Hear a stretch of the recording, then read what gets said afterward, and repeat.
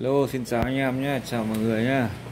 Nay mình uh, nhận cái khoan nó bị ờ, uh, dắt mũi. Khách uh, cầm đến là người ta đã chắc là tháo nắp cưa cắt kiểu gì cắt cả cái mũi là vẫn không tháo được nha. Thì thực ra cái này nó không phải là cái gì gọi là nó cần cao siêu lắm. Thì mình tháo ra mình sửa cho khách thì nhân tiện ừ, chia sẻ luôn. Để ờ, anh em ờ, chắc là cái này chỉ anh em ờ, dùng thì biết tham khảo để tháo thôi, chứ còn anh em thợ thì ai cũng có thể tháo được.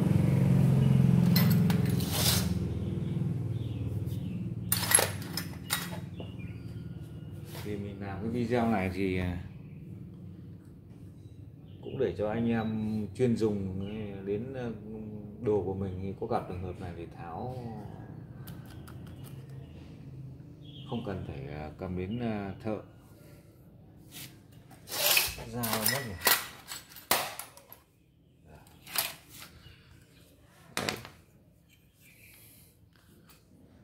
Anh em mà kẹp mà đóng mà rút thì chắc là không phải ra đâu. Cái cái này là nó khả năng do cái mũi này nó bị non nó bị tuét đầu ra rồi thì phải gỡ hết cái này ra. Thì đây, trước tiên các bạn phải gỡ cái cao su bịt đầu này. tiếp đến là cái phanh hãm để giữ cái cao su.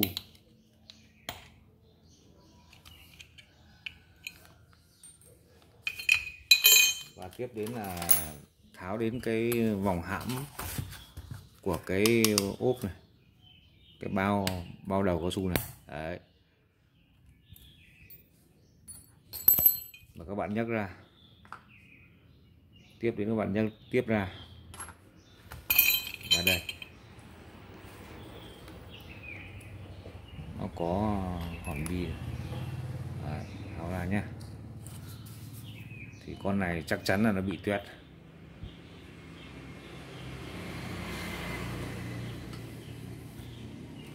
Bây giờ mình sẽ đóng thử và xem là nó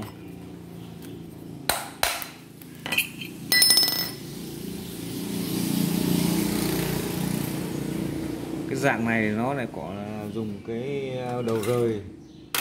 Cho nên là rất dễ tháo nhé cái con đầu niền thì có khi là mình phải đóng thử. Nhưng mà đầu rời thì rất tiện lợi cho mình tháo mình sẽ lấy mấy viên bi này ra đã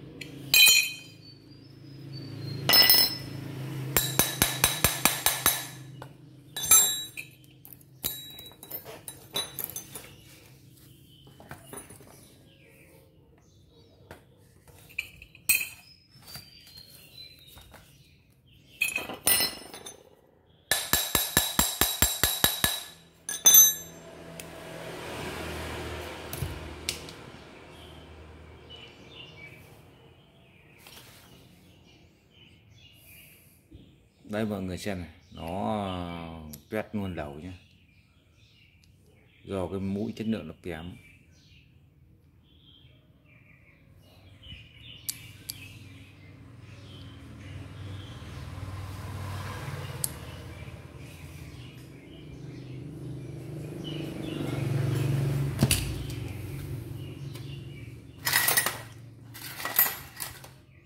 Bây giờ mình sẽ đóng thử xem nó có ra không không ra thì mình phải đẩy nhé. Cái này chắc là anh em thử. À, anh em dùng có thể là không có đồ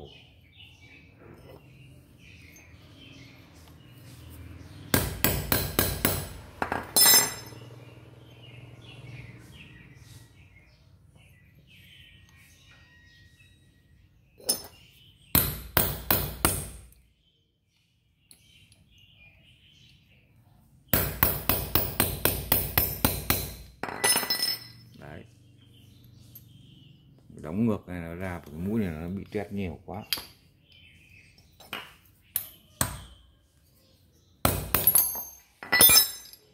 Đây, mình đã đóng ra rồi, mọi người xem này.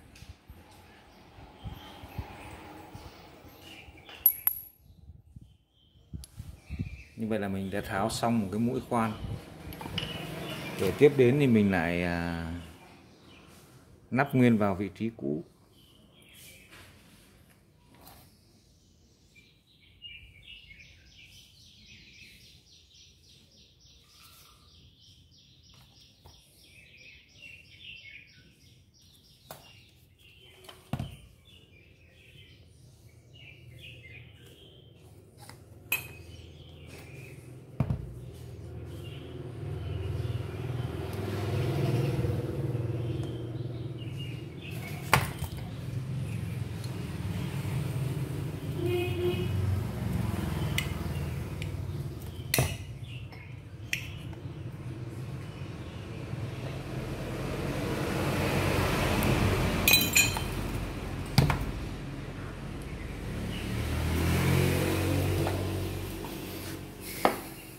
Và thứ tự khi các bạn tháo ra như thế nào thì nắp nguyên vào như thế.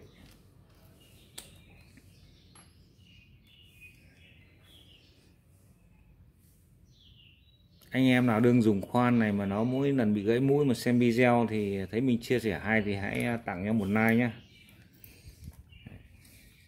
và nhớ đăng ký kênh để à, xem tiếp những cái video tiếp theo để có mỗi khi à, đương đi làm mà gặp cái trường hợp như này thì hãy à, theo dõi.